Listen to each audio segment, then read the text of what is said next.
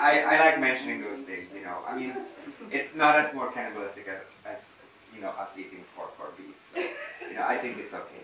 Um, but uh, but I, I you know I, I, I do like that. Uh, um, you know, you could also uh.